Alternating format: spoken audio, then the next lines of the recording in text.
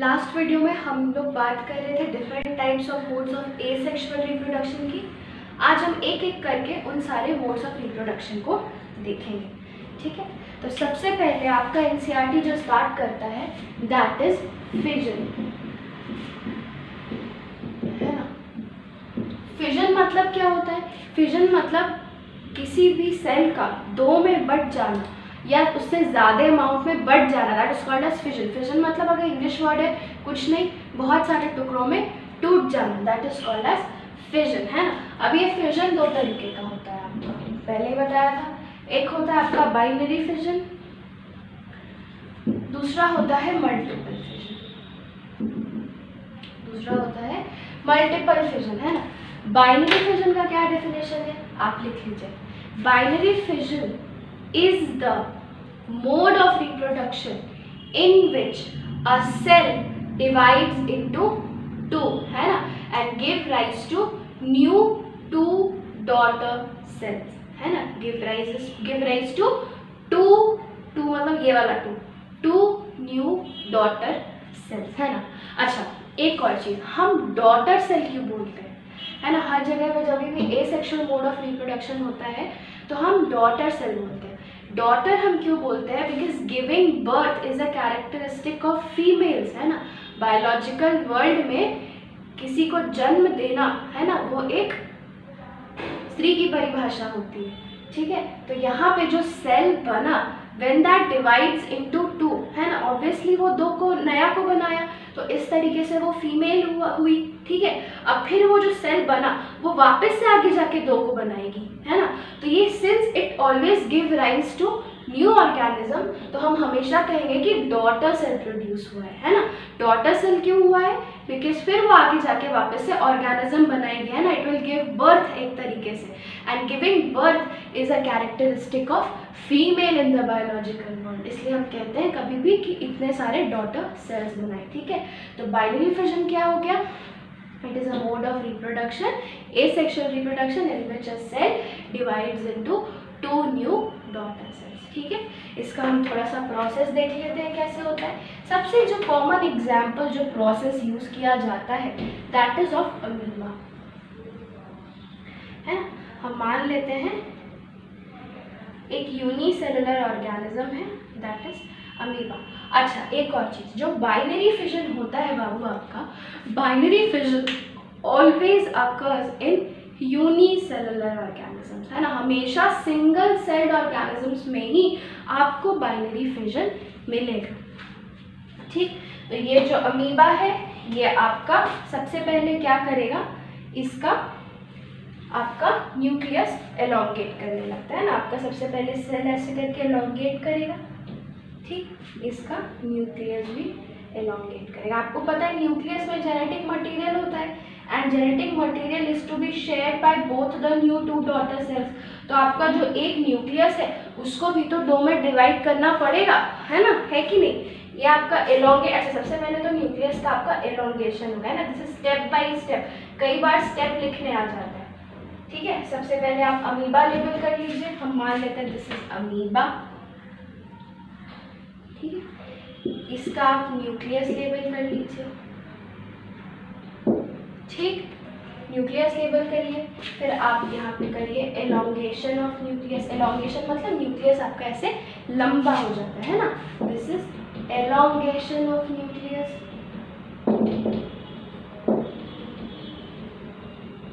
ठीक, उसके बाद आपका न्यूक्लियस फिर डिवाइड करने लगता है। है ना?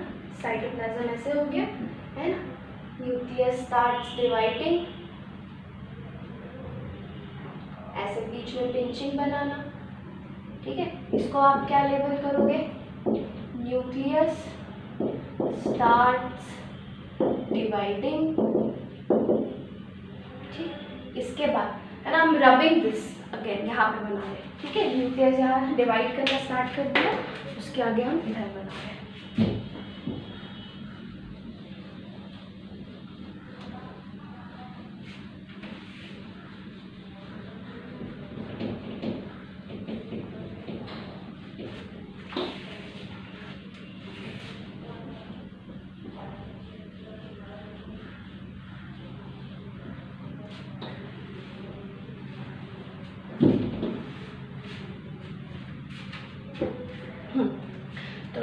तो आपका डिवाइड करना स्टार्ट हुआ, फिर क्या होता है, ये जो साइटोप्लाज्म होता है it gets constricted at the middle है ना?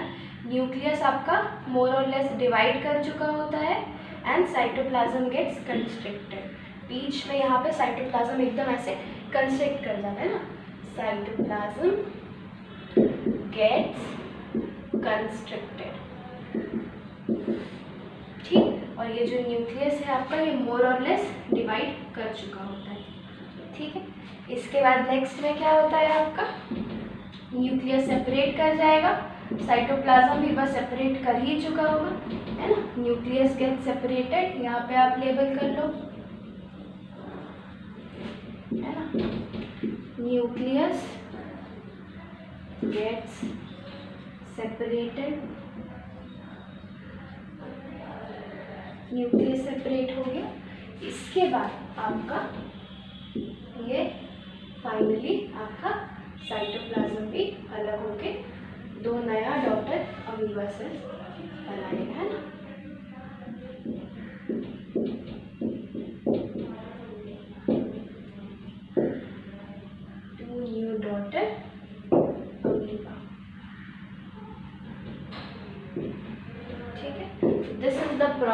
बाइनरी फिजन अगर आपको एक नंबर का क्वेश्चन में पूछा व्हाट इज़ फिजन है ना तो आप बताइएगा दो तरह का होता है बाइनरी एंड मल्टीपल और दोनों का डेफिनेशन लिख करके एग्ज़ाम्पल लिख दीजिएगा।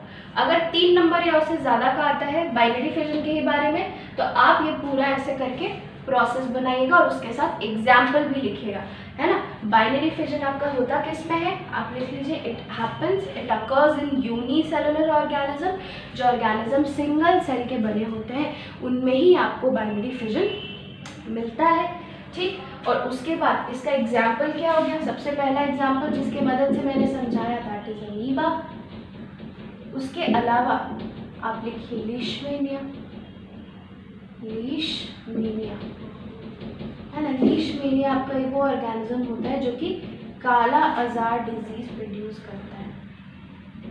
है ना? वुपिंग का बोलते हैं डिज़ीज़ ठीक है? लीशमेनिया के बारे में थोड़ा सा बता रही हूँ मैं। एक बार रफ है ना? बाइनरी फिजन का एग्ज़ाम्पल आपका क्या हो गया? अमीबा में होता है। लीशमेनिया में होता है। ठीक? इसका मैं थोड़ा सा एक स्पेसिफिक चीज़ है वो बता रही हूँ।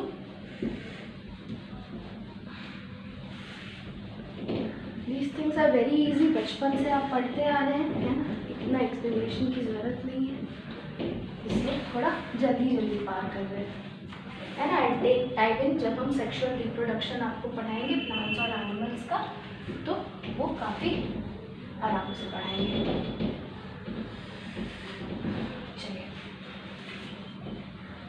ठीक है है लीशमेनिया में क्या होता है? लीशमेनिया इस तरह का ऑर्गेनिज्म होता है, जिसमें एक विप लाइक स्ट्रक्चर निकला होता है ना, ऐसे। अब ये विप लाइक स्ट्रक्चर एक होता है। अब अमीबा का जब हम बात करें, है ना, हम मान लेते हैं ये अमीबा है, ठीक है? Amoeba does not have any definite shape और साइज़ है ना, उसका चेंज करते रहता है शेप इट इज़ डायनामिक और इसके पास कोई स्पेशल एपेंडेज भी नहीं है। एपेंडेज मतलब आपके बॉडी से कोई भी जो प्रोसेस निकला हुआ है दैट इज़ एपेंडेज जैसे मेरा हैंड्स मेरा एपेंडेज हो गया, मेरे लेग्स मेरे एपेंडेज हो गए। तो अमीबा का बॉडी से एज सच कोई एपेंडेज नहीं निकला। हुआ तो इसके चलते क्या होगा? अमीबा किसी भी प्लेन में डिवाइड कर सकता है। ना वो ऐसे भी दो हाफ़ में बढ़ सकता है, वो ऐसे भी बढ़ सकता है, ऐसे भी बढ़ सकता है, ऐसे भी बढ़ सकता है, ऐसे भी बढ़ सकता है। है ना? मल्टीपल प्लेन में वो अपने आप को डिवाइड कर सकता है। है ना? लेकिन अगर हम किसी ऑर्गेनिज्म जिसके पास कोई स्पेशल एपेंडेज है, उसकी बात करें, जैसे कि this is a this is an organism called Leishmania L E I S H M A N I A है ना? लीशमेनिया की बात करें। तो Leishmania is also unicellular organism लेकिन इसमें एक विप लाइक स्ट्रक्चर इसके बॉडी से निकला रहता है, जिसको हम बोलते हैं फ्लैजिला ठीक है? जिसको हम बोलते हैं फ्लैजिला फ्लैजिला का काम होता है मूवमेंट में हेल्प करना। ठीक है? अब ये लीश मेनिया के पास फ्लैजिला रहता है। आप सोचिए, अगर ये इस तरीके से डिवाइड कर जाए तो क्या होगा? एक के पास फ्लैजिला आएगा, दूसरे के पास फ्लैजिला नहीं आएगा। तो अमीबा जो कि किसी भी प्लेन में अपने आप बाइनरी फिजन कर सकता है लीशमेनिया ऐसा नहीं कर सकता है। लीशमेनिया किसी भी प्लेन में करेगा तो एक के पास फ्लैजला आएगा, दूसरे के पास फ्लैजला नहीं आएगा, है ना? तो इसके लिए क्या होता है कि लीशमेनिया में सिर्फ़ डिविजन यहीं से हो सकता है। ऐसे ही ऐसे डिवीज़न होगा कि वो जो फ्लैजला है उसका ओरिजिन दोनों पार्ट्स शेयर करें है ना तब जाकर के लीशमेनिया बाइनरी फिजन करता है तो आपके एनसीईआरटी बुक e में एक सेंटेंस लिखा है ना पेज नंबर 129 में है ना लास्ट पैराग्राफ देखो ठीक है it has a whip-like structure at one end in such organisms binary fission occurs in a definite orientation in relation to these structures ये जो बाइनरी फिजन यहाँ पे हो रहा है बाबू, ये सिर्फ़ एक डेफिनेट प्लेन एक डेफिनेट ओरिएंटेशन में ही होगा with respect to this structure ये स्ट्रक्चर जहाँ प्रेजेंट होगा, उसी के रेस्पेक्ट में ये बाइनरी फिजन होगा। तभी तो दोनों अभी, दोनों लीशमेनिया के पास फ्लैजिला आएगा, जो नया बनेगा, नहीं तो आपके पास नहीं आएगा। तो this is are important hit question जो टीचर पूछते हैं कि कोई ऐसा ऑर्गेनिज्म बताओ जिसमें कि binary fission occurs in a definite orientation किसी एक प्लेन में ही हो सकता है ना? और ऐसा क्यों होता है? तो आपको यही बताना है कि Leishmania and organisms like Leishmania binary fission occurs in a definite orientation with related with respect to a structure known as flagella it is because so that the two new daughter cells which are form both of them have the part of flagella है ना ताकि दोनों का, दोनों जब आपका आगे जाके बन सके तो वो आपका फ्लैजिला बनाए। ठीक है? This completes your binary fission ये बहुत इंपॉर्टेंट क्वेश्चन है डिफरेंट ओरिएंटेशन वाला, आप इसको अच्छे से याद रखिएगा। नेक्स्ट हम आते हैं मल्टीपल फिजन में।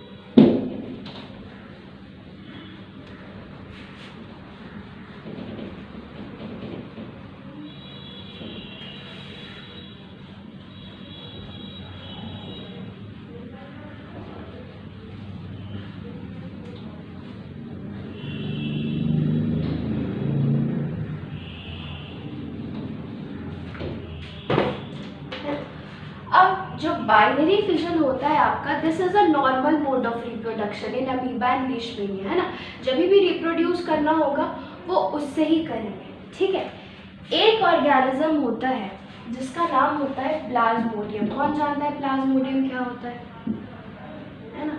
प्लाज्मोडियम इज़ एन ऑर्गेनिज्म है ना? Unicellular organism which causes malaria है ना? मलेरिया कॉज जो ऑर्गेनिज्म यूनिसेलुलर ऑर्गेनिज्म कॉज करता है that is known as Plasmodium ठीक है? और ये जो प्लाज्मोडियम होता है this reproduces by multiple fission है ना? मल्टीपल फिजन से प्लाज्मोडियम रिप्रोड्यूस करता है। अब याद रखिएगा, जो बाइनरी फिजन मैंने कहा आपका नॉर्मली होता है अमीबा लिशमेनिया में मल्टीपल फिजन जनरली तभी होता है जब आपका अनफेवरेबल कंडीशन होता है है ना? अनफेवरेबल कंडीशन मतलब किसी भी ऑर्गेनिज्म के लिए जब फेवरेबल कंडीशन नहीं हो, तभी वो आपका मल्टीपल फिजन करता है। तो मलेरिया का पैरासाइट प्लाज्मोडियम जब हमारे बॉडी में रहता है तो ऑब्वियसली किसी के बॉडी में है। मेरा बॉडी क्या चाहेगा? उसको खदेड़ के बाहर निकाले। तो जो मेरे बॉडी में उसको कंडीशंस मिलेगा, उसके रिप्रोड्यूस करने के लिए फेवरेबल नहीं होगा। Those conditions will be unfavourable तो अनफेवरेबल कंडीशन में कोई भी ऑर्गेनिज्म क्या चाहेगा? कि हम ढेर सारा अपना बच्चा बना दें, ताकि वो ढेर सारा में कुछ तो बाद में जाके ज़िंदा बच जाए। तो मल्टीपल फिजन जनरली याद रखना तभी होता है, जब किसी भी ऑर्गेनिज्म के लिए अनफेवरेबल कंडीशन होता है। ऐसा क्यों होता है? ताकि वो इतना बच्चा क्यों बनाता है? ताकि उसमें से आगे जाके कोई एक दो तो सर्वाइव कर जाए। है ना? तो प्लाज्मोडियम में क्या होता है? प्लाज्मोडियम का जो एक सेल होता है है ना? ये सेल का न्यूक्लियस बहुत सारे डिफरेंट डिफरेंट बहुत सारे नंबर ऑफ़ न्यूक्लियस में टूट जाता है और सारे न्यूक्लियस के अराउंड कुछ अमाउंट ऑफ़ साइटोप्लाज्म डिजॉल्व ये डिपॉजिट हो जाता है ना? जैसे कि ये जो सेल था, है ना? इसका न्यूक्लियस बहुत सारे पार्ट्स में टूटा और सब पार्ट्स के अराउंड आपका थोड़ा थोड़ा साइटोप्लाज्म डिपॉजिट हो गया।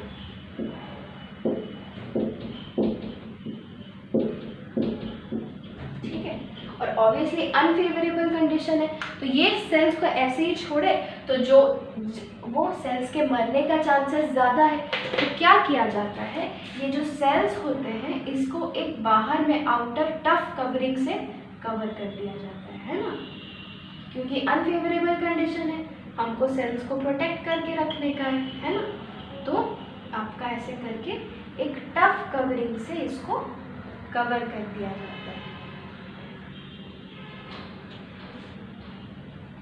ठीक है?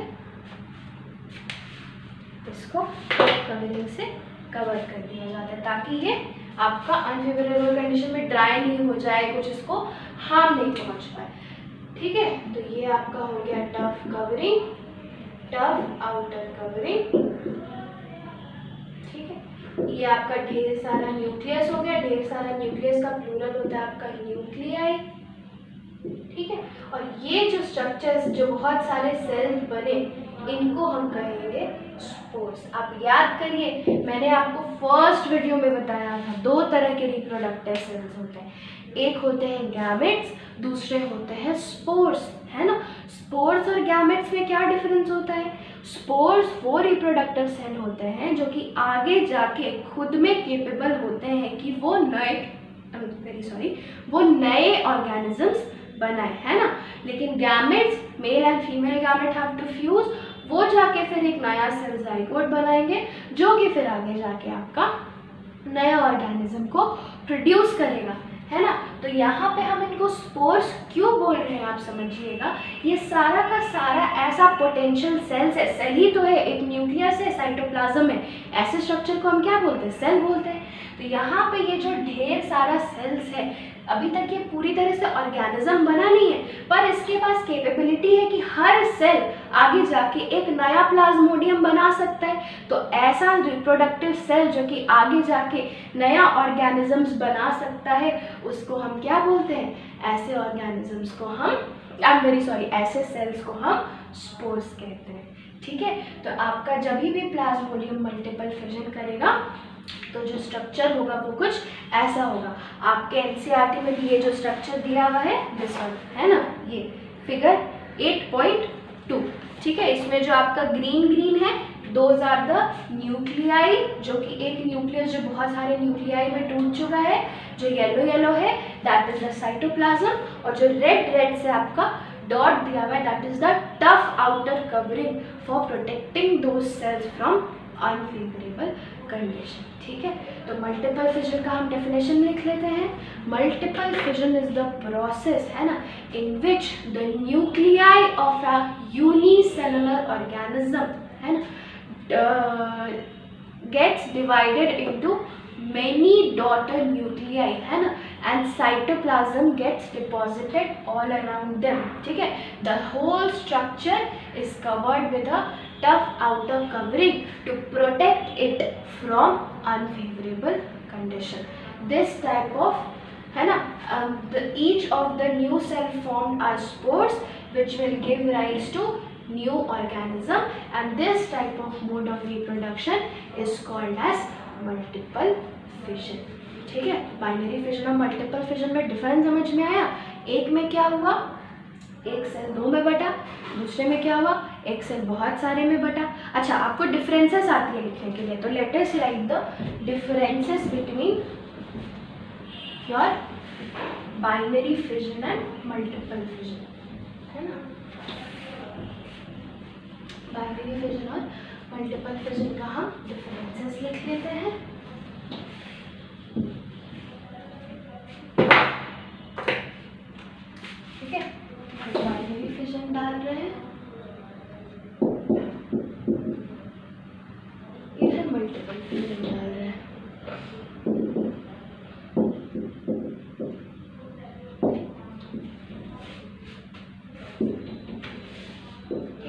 सबसे पहला एक सेल आप लिखते चलिए बाइनरी फ्यूजन में सबसे पहला one cell divides into two daughter cells ठीक? मल्टीपल फ्यूजन में आप लिखिएगा। One cell divides into many daughter cells ठीक है?